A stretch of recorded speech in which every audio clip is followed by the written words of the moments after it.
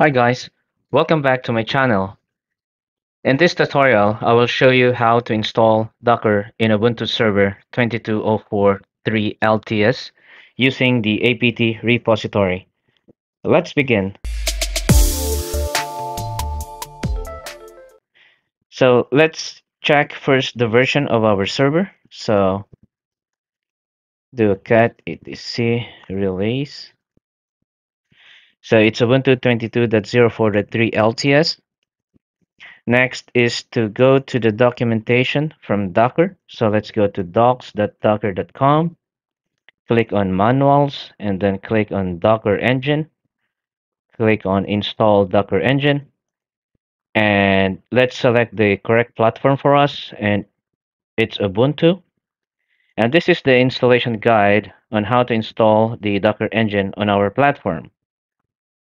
So let's uninstall if there is any conflicting packages.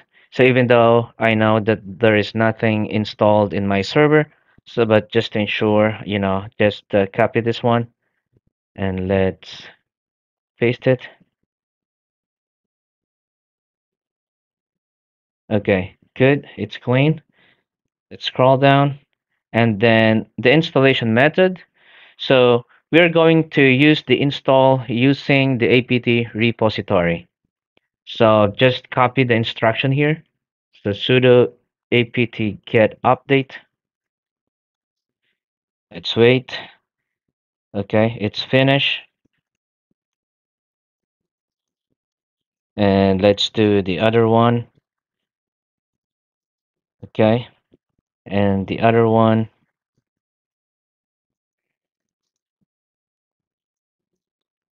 Okay, good. So let's do the curl. Copy until the end. Okay, it's done. And the last step for the GP key is this one. Let's change the uh, permission. Okay, next is to add the repository to apt sources. So by using the echo, let's copy this until the sudo tee. Okay, let's copy, then paste it. And then the last step is to update. Okay, good. So let's verify if the Docker engine has been installed. So let's do a sudo docker version.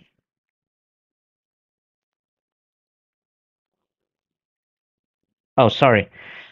So the, packages uh, hasn't been installed. So let's go to the uh, second step. So, so what we will do here is to install the latest uh, version.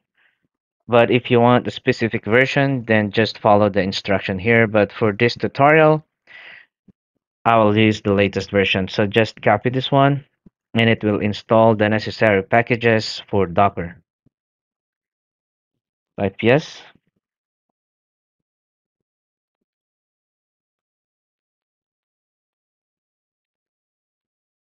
Let's wait to finish the installation of these different packages for Docker.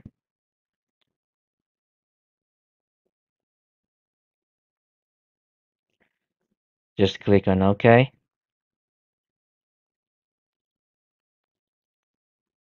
Okay, then let's check now if the Docker engine has been installed successfully. So let's do a sudo docker version. So looking good. It's uh, the Docker engine has been successfully installed. So just to ensure that we could run a hello world, um, then just copy this one and it will pull the image from the Docker Hub. Now, as you can see, it's we have successfully run the hello world sample container. And when we check the images, sudo docker images, here's the image. So just to um, let's uh, install another container, an Ubuntu container running inside our Ubuntu server. And this Ubuntu server is running inside my Ubuntu desktop. So it's like Ubuntu sitting inside the Ubuntu and then sitting inside Ubuntu. So let's do a let's run a an Ubuntu container. So Docker container sudo docker container run minus detach and then the it interactive and then dash dash name let's say BelReyz toolkit ubuntu container and then the image. So it will pull the latest image. Let's run it it's pulling the uh, latest ubuntu image as you can see here ubuntu colon latest. So yep it's been successfully um, pulled and then the container should be running. And let's check the container sudo docker container ls so as you can see the name of the ubuntu container is BelReyz toolkit ubuntu container. So if you want to access in uh, the, the ubuntu container so just do a sudo docker container exec minus it then the name of the container BelReyz toolkit ubuntu container and then we go to the bash shell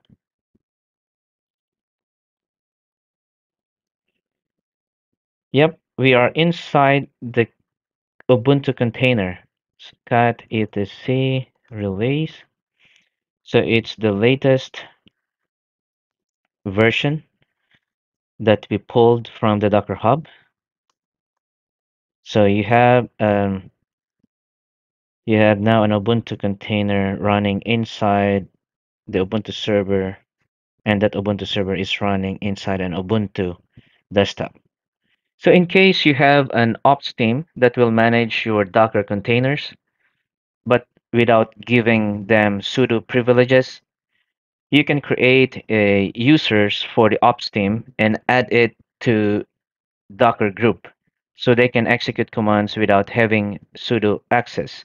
So since I have a sudo access, so let's do a sudo bash and let's try adding a, um, a user so let's say from the operations team, yeah, but we will not give them a sudo access. So let's let's try to add a user. So let's sudo add user